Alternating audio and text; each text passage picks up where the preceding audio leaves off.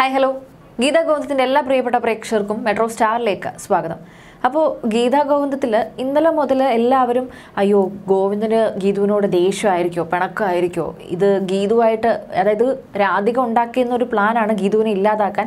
അവിടെ ഗീതു പറഞ്ഞിട്ടാണ് ഇങ്ങനെയൊക്കെ ചെയ്യുന്നതെന്ന് തോന്നി ഒരു വല്ലാത്തൊരു സിറ്റുവേഷനിലാണോ ആ പിണക്കമൊക്കെ മാറുമോ എന്ന് കരുതി കരുതിയിരിക്കുകയാണ് എന്തായാലും നമുക്ക് ഇന്നത്തെ വിശേഷങ്ങളിലേക്ക് പോകാം. അതിനുമുമ്പ് നിങ്ങൾ ആദ്യമായിട്ടാണ് ഈ ഒരു ചാനൽ കാണുന്നുണ്ടെങ്കിൽ തീർച്ചയായിട്ടും ഈ ഒരു ചാനൽ സബ്സ്ക്രൈബ് ചെയ്യുക. അപ്പം നമ്മളിടുന്ന കൂടുതൽ സീരിയൽ റിവ്യൂ വീഡിയോസ് നിങ്ങൾക്ക് ലഭിക്കുന്നതായിരിക്കും. എന്തായാലും ഗീതുവിനും ഗോവിന്ദനും ഇടയിൽ അവർക്കിടയിൽ ആ ഒരു പിണക്കങ്ങളൊക്കെ പോവാണ്. അത് ഗീ അതായത് ശത്രുവിന്റെ മകളെ തന്റെ കമ്പനിയുടെ തലപ്പത്തേക്ക് കൊണ്ടുവരിക എല്ലാ സൗഭാഗ്യങ്ങളും നഷ്ടപ്പെടുത്തി കളഞ്ഞ ഒരു ചദ്യനായ ഒരു അച്ഛന്റെ മകളാണ് അവൾ. അപ്പോൾ ശത്രുവിനെ അംഗീകരിക്കുന്നതിന് തുല്യം തന്നെയാണ്. അതുകൊണ്ട് തന്നെയാണ് ആ ഒരു വേദന തോന്നുന്നത് അവിടെ. പക്ഷേ ഗീതു അങ്ങനെ ഒന്നും അല്ല എന്ന് മനസ്സിലാകുന്നുണ്ട്. ആ ഒരു കമ്പനിയിൽ അമ്മയുടെ നിർബന്ധപ്രകാരം പോകും വരും എന്നല്ലാതെ താൻ ഒരിക്കലും അതിൽ ഒന്നിലും ചെയ്യാൻ പോകുന്നില്ല എന്ന് പറഞ്ഞതോടെ ഓക്കെ ആവാണ്. അതേസമയം തനിക്കിവിടെ വളരെ ബോറടിയാണ് നേരം പോക്കൊന്നും ഇല്ല എന്ന് പറയുമ്പോൾ നേരം പോക്കിനുള്ള എന്തെങ്കിലും ഒന്ന് താൻ കണ്ടെത്തിക്കോളാം എന്നുള്ളൊരവസ്ഥയിലേക്ക് ഗോവിന്ദ് എത്തുകയാണ്. ഇതിന്റെ ഇടയിൽ ഗീതുവും ഗോവിന്ദും ഇനി ഒരുമിച്ചിരിക്കുക അതായത് ഇത്രയും നാൾ അടർത്തി നിർത്തി മാറ്റി നിർത്തി ഏഴ് ദിവസത്തെ പൂജയും കാര്യങ്ങളും പറഞ്ഞ്. പിന്നെ രാധിക ഹോസ്പിറ്റലായിരുന്നപ്പോൾ അവിടെ ആയിരുന്നു അങ്ങനെ.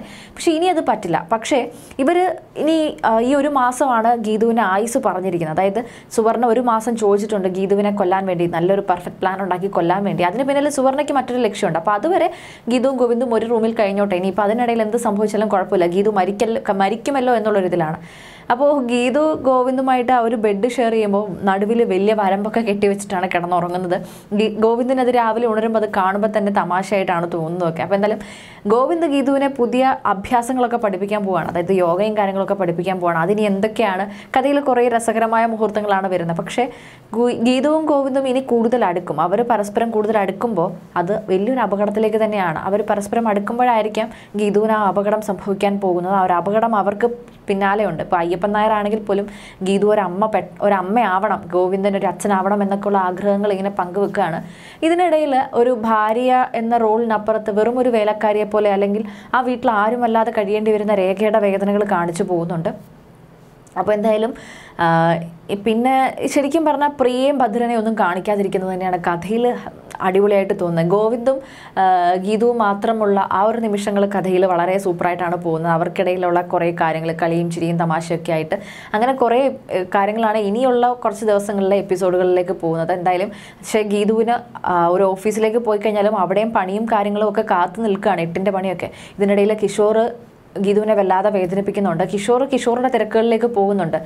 കിഷോർ അങ്ങനെ തിരക്കുകളിലേക്ക് ഇതും പോകുമ്പോഴും പക്ഷേ കിഷോർ വിളിക്കുമ്പോൾ തന്നെ ഗീതു എടുക്കണം. പക്ഷേ ഗീതു വിളിക്കുമ്പോൾ കിഷോർ എടുക്കില്ല. അങ്ങനത്തെ ഒരു കോൺസെപ്റ്റിലാണ് അയാളും പോകുന്നത്. എന്തായാലും ഗീതുവിനെ ഗോവിന്ദനെക്കുറിച്ച് കൂടുതൽ അറിയാനും കൂടുതൽ അവർ തമ്മിലുള്ള അടുപ്പം ഉണ്ടാവാനൊക്കെ കാരണമാവാൻ പോവുകയാണ്. എന്തായാലും ഗീതുവിന്റെയും ഗോവിന്ദന്റെയും ഒരു ജീവിതം ഇവിടെ സ്റ്റാർട്ട് ചെയ്യാണ്. അവരുടെ പ്രണയവും അവർ ആ സ്വ അവർ പ്രണയിക്കുന്നുണ്ട്. ഉള്ളിന്റെ ഉള്ളിൽ അവർക്കൊരു പ്രണയമുണ്ട് അവർ തിരിച്ചറിയാതെ പോകുന്നതാണ് ആ പ്രണയത്തെ. അവർ ആ പ്രണയം തിരിച്ചറിയുന്ന നിമിഷമാണ് ശരിക്കും അവരുടെ ജീവിതം തുടങ്ങാൻ പോകുന്നത്.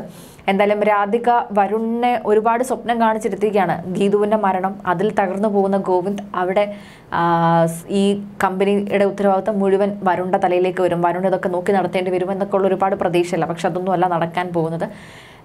രാധികയെ തകർക്കാൻ ഭദ്രൻ വിചാരിച്ചാലും കഴിയാവുന്ന കാര്യമേ ഉള്ളൂ. പ്രിയ എന്ന് പറയുന്നത് സ്വന്തം മകളായതുകൊണ്ട് തന്നെ രാധികയ്ക്ക് അവിടെ സ്നേഹമുണ്ട്. അപ്പോൾ വരുൺ എല്ലാം നോക്കി നടത്താനും കാര്യങ്ങളൊന്നും പറ്റില്ല. അവിടെ ഗീതവും ഗോവിന്ദും ഇല്ലാതായതുകൊണ്ടും കാര്യങ്ങളൊന്നുമില്ല. അപ്പോൾ എന്തായാലും കഥ അങ്ങനെ മുന്നോട്ട് തന്നെ പോട്ടെ. ബാക്കിയൊക്കെ നമുക്ക് കാത്തിരുന്ന് തന്നെ അറിയാം. അപ്പോൾ ബൈ.